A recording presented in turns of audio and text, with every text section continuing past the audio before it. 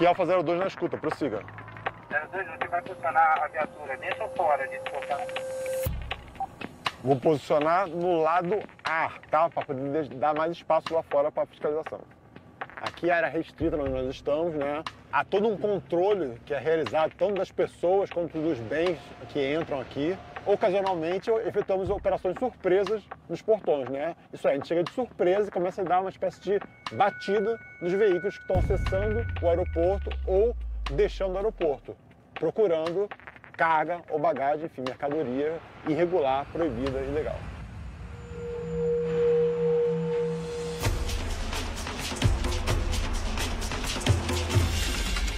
Boa noite. Por favor, acompanha do lado de lá. Tudo bem. Tá. Tá lacrado, né? Pode abrir pra mim.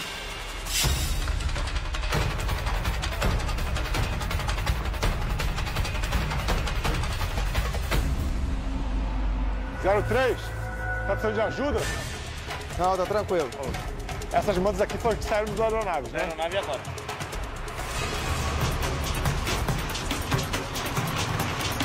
Aquela caixa ali tem Me acompanha aqui, por favor.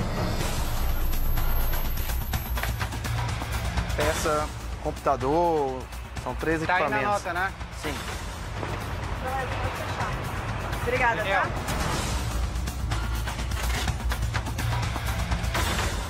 Liberado. Tá liberado, por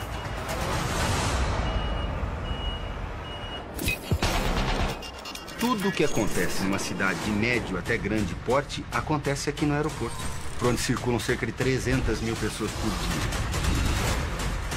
A vermelha você para. É o fundo aqui, ó. O Alfa 03 na escuta. E o portão vai ficar fechado até a segunda ordem da Receita Federal. Você tem uma carga tributária alta, você tem que ter um controle de fronteira forte também. Acho que é uma loucura diária. Volta aqui, senhor! Você está preso pelo porte ilícito de cocaína. O Brasil é o segundo maior consumidor de cocaína no mundo. Ele também serve como rota para o tráfico internacional. A gente está indo atrás de contrabandista. O que a gente tem aqui é dinheiro não declarado. Circula a droga e o pagamento. Uma fronteira bem fiscalizada deixa o nosso país mais seguro. E tem vidas que estão sendo preservadas.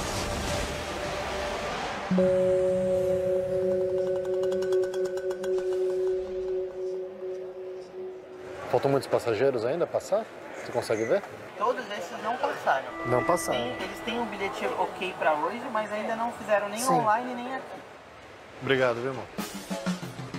Via de regra, nós estamos é, a paisana, circulando entre os passageiros, observando o comportamento dos passageiros nas filas do check-in, levantando informações.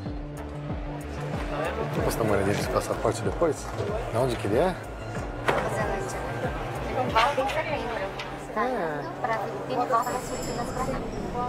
Okay, I'm from police. Can check your luggage? Okay. You come with me, okay? Não era problema. Okay, great.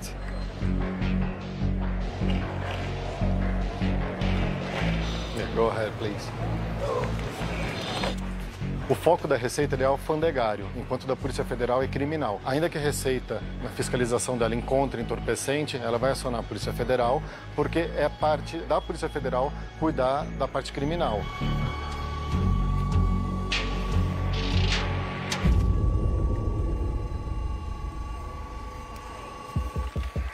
Thank you very much. Have a nice trip back.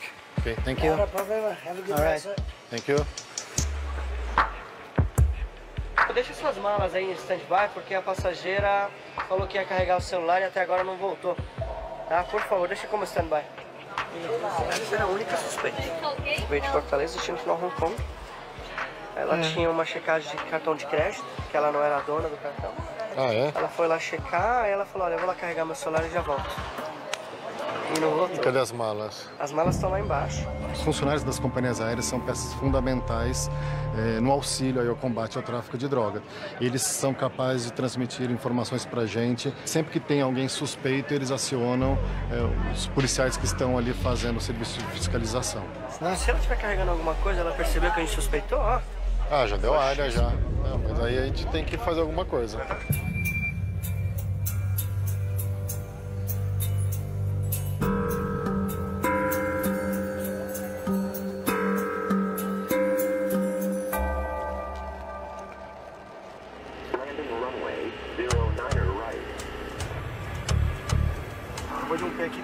Treinar depois do curso, tá? Lá, na, lá em Curitiba e depois pousar depois lá em... Beleza, então tu vai fazer os dois próximos pousos, né?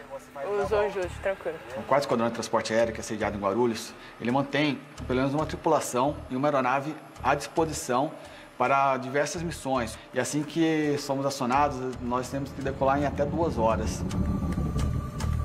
Essa missão é chamada Missão de Transporte de Órgãos Vitais. Então, é uma, uma missão que é realizada em conjunto com o Ministério da Saúde para a gente poder levar o, os médicos pra, para os destinos. Hoje a gente está indo para Joaçara, Santa Catarina, que eles vão fazer a, ali a cirurgia de extração do, do, de um coração.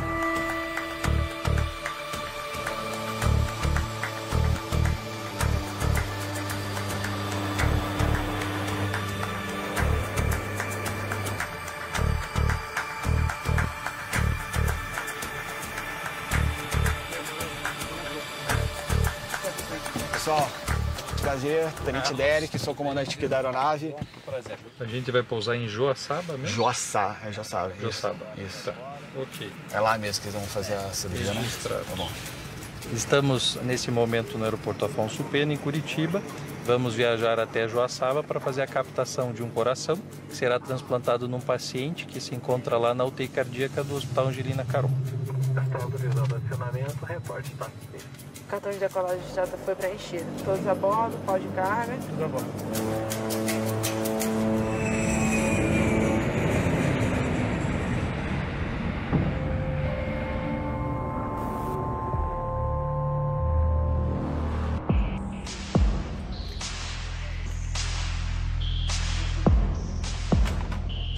Vamos definir as posições então. Na supervisão, no comando do ambiente, vai estar o, zero- o Alfa 02. No raio-x, vai estar o Alfa 04. Na mala, vistoriando bagagem, vai estar o Alfa 03 e o Alfa 05. E a direto vai estar com o cão de faro, passando cachorro na mala. Alguma dúvida aí? Fechou então? Então bora pra guerra então. Agora, especificamente, nós estamos fazendo uma operação de fiscalização de bagagens de um voo de saída é, cujo destino é o Marrocos, né? O passageiro faz o check-in, né? Ele despacha sua bagagem. Essa bagagem ela vem é, por esteiras, né? E chega até um, um ponto onde nós est- estaremos. Nesse ponto aqui existe um raio-x, né? E nessa operação nós também estaremos contando com a ajuda do cão de faro.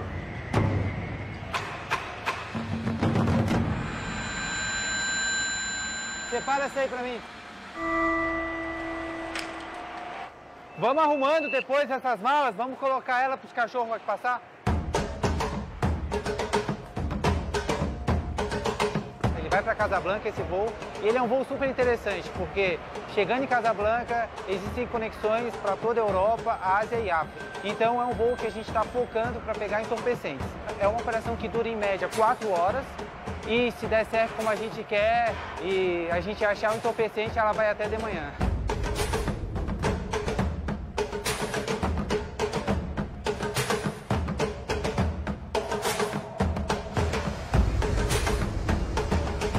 Pedir para separar essas duas que eu levantei.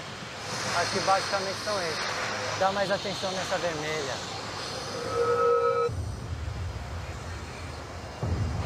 Vida, foi isso, A atenção dela. Isso aqui tá estranho, viu? Aqui pode ter droga. Tem fundo falso não? Que não, né? E aí? Cara, acho que é o fundo aqui. É o fundo aqui, ó. Põe a mão aqui. Aqui eu encosto o dedo. E aqui eu não encosto o dedo.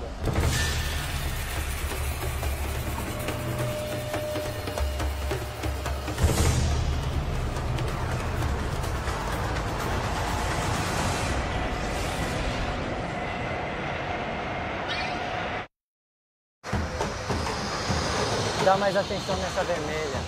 Tem fundo falso que não, né? E aí? Aqui pode ter droga. Cara, acho que é o fundo aqui. Aqui eu encosto o dedo. E aqui eu não encosto o dedo.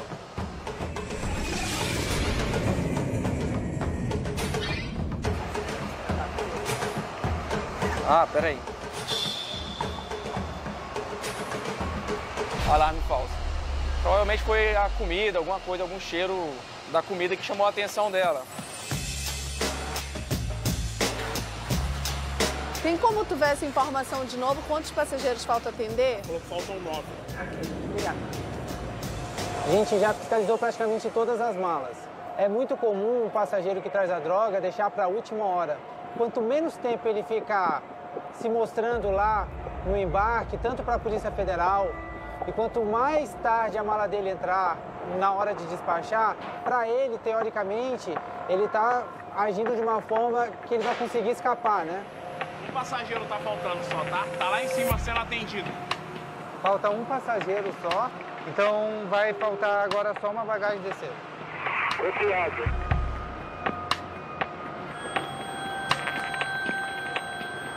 Separa essa vermelha aí, amigão. Separa essa vermelha. Ô, vamos abrir essa mala aí.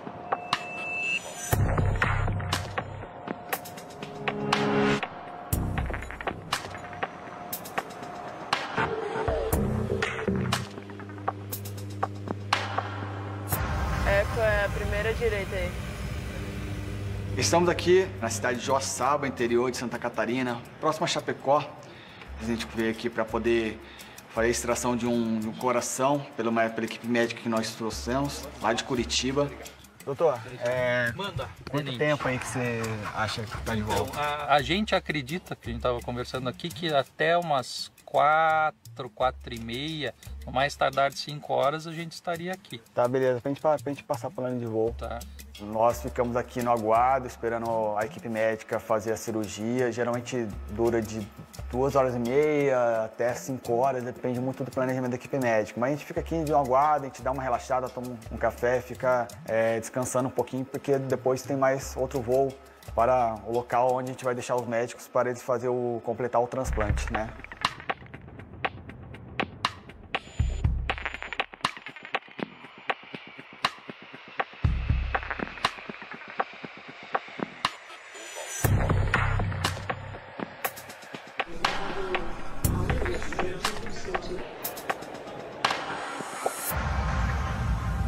Foi comprada ontem a passagem. Ontem, 9.800 reais. Em dinheiro?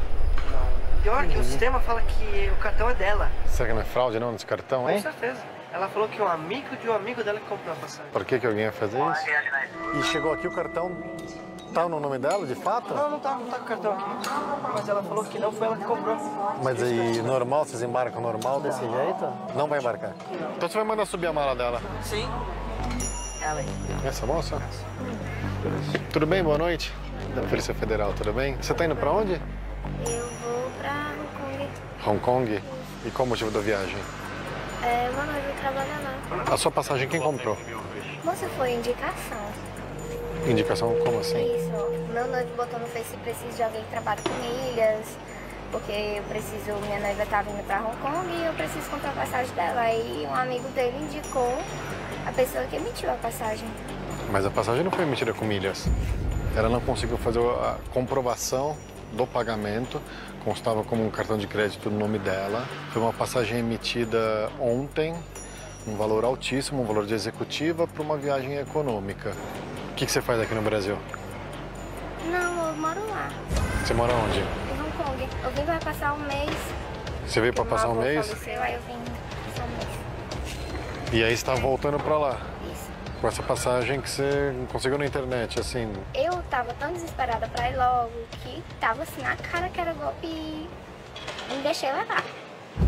Ela, de fato, confirmou que o noivo que mora em Hong Kong tentou comprar uma passagem, anunciou no Facebook, e alguém se ofereceu para vender por pontos e Aqui fala que você é a dona do cartão que foi efetuada a compra da passagem. Eu acho que esse caso daí é, é fraude mesmo. Eu tive interesse em olhar a bagagem para ver se não tinha mais nada de, de ilegal dentro aí que ela pudesse estar transportando. Você tá levando alguma coisa para alguém? É só comida. Que tipo de comida, de alimento que você está levando? Café. Ah, então é isso mesmo. Tá bom. Aqui, da minha parte, está liberado é com vocês. E, na verdade, chegou aqui, ela não vai conseguir embarcar, então ela vai ficar e vai tentar resolver esse problema daí, ou com a companhia aérea, ou com os recursos próprios dela. Não é um caso da polícia, nós não vamos intervir mais nesse caso. É, nada foi encontrado, ela está liberada.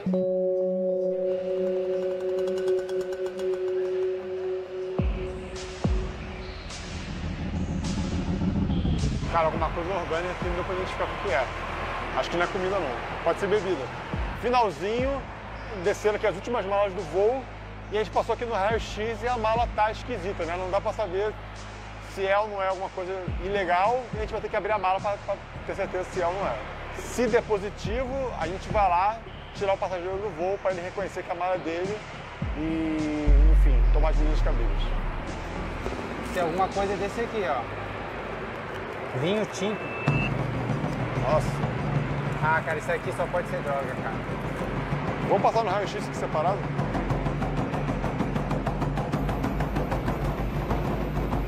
Percebe que tem uma parte mais clara em volta, que pode ser o líquido de um vinho.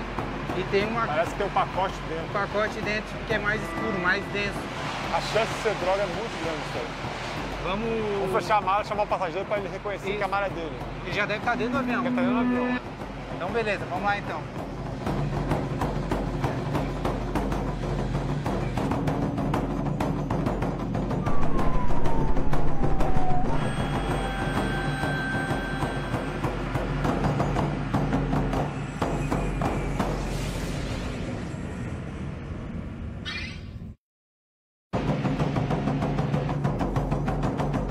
Vinho tinto.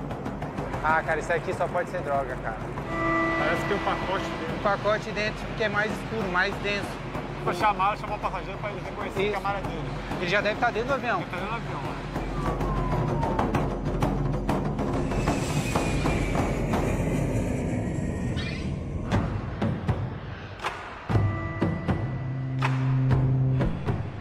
Senhor, por favor. Essa bagagem é sua, né? As duas, né? Nós, nós identificamos aqui algumas coisas é, suspeitas na sua bagagem. A gente vai ter que agora ir lá na delegacia da Polícia Federal pra gente ver se tem alguma, se tem só vinho dentro, se tem alguma outra coisa no estômago do vinho, tá bom?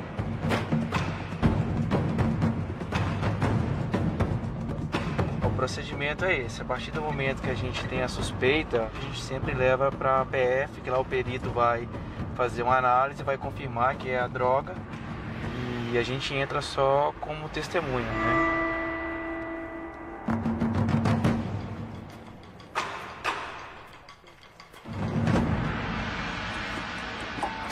A primeira fase do transplante acabou transcorrendo bem e daqui a pouquinho a gente decola para retornar a Curitiba. E a partir do momento que a gente retira o coração, então dispara o nosso cronômetro aí de 4 horas no máximo para que a gente possa fazer o implante no receptor. Agora a gente está com 45 minutos desde o momento que o coração foi retirado do doador.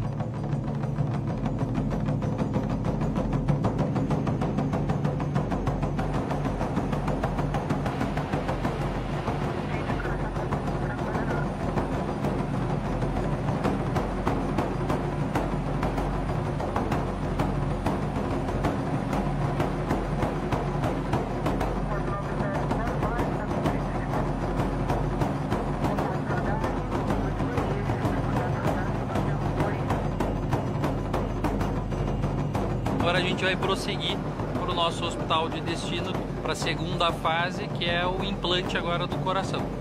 Trabalhamos a noite inteira, acabou de amanhecer, mas o dia continua.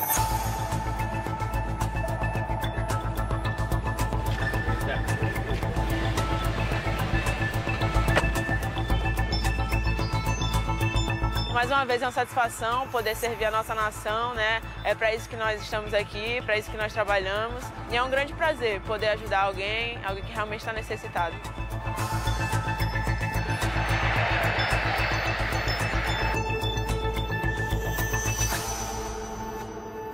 Essas malas são suas. São. Por que você tá levando um vinho daqui pra lá? É para comemorar. Vamos lá ver então esse vinho aí? Vamos. Ele já tá no portão?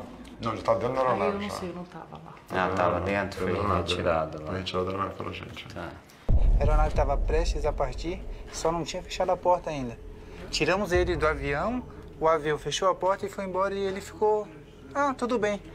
Ali a gente já viu que alguma coisa também já estava errada, né? Porque qualquer pessoa normal que não tem culpa de nada. Ele vê o seu avião indo embora e ia ficar desesperado, né?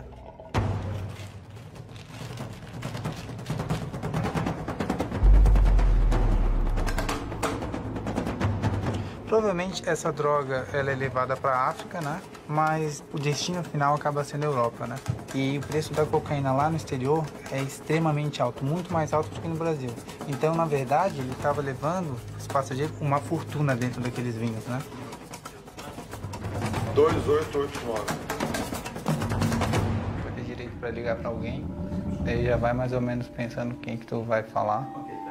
O passageiro, ele é de Cabo Verde, né? O que facilitou, ele falava português. Só que isso também foi estranho. Ele falou que ele estava voltando para casa, mas ao ver a passagem dele, ele estava indo para Guiné-Bissau. Então, a gente ali eu já percebi que ele estava mentindo, né?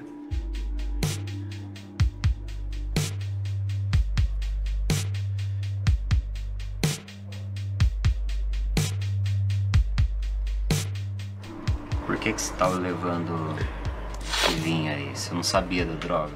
Conheci uma pessoa aqui de Guiné-Bissau e ele vende na, na praça. Eu recebi essa carga, mas eu não sabia que tinha essa coisa dentro. Ele, ele me disse que ele me daria vinhos para levar para a família dele. Bom, você lembra que logo que você chegou aqui na delegacia, eu te perguntei do vinho, você falou que estava indo levar para comemorar. Isso, isso. Não era para comemorar esse vinho. Era para levar para família pra- seu amigo. Era para levar. Essa que é a verdade. Era para levar. E você sabe dizer o endereço que a gente encontra ele? Ele trabalha na praça todo dia. Não, Brás. É, você conheceu lá, né? É um pouco grande, né? Aham, aham. Morada fixa, eu não sei. Não sabe. No caso, esse tipo de ocultação de drogas já é recorrente. Levar nesse tipo de caixa de vinho, né? Nesse voo que vai para o Marrocos, aqui a partir de Guarulhos, várias vezes já foram feitas prisões aí e provavelmente ele vai cumprir pena aqui e depois de cumprir pena ele vai ser expulso do país.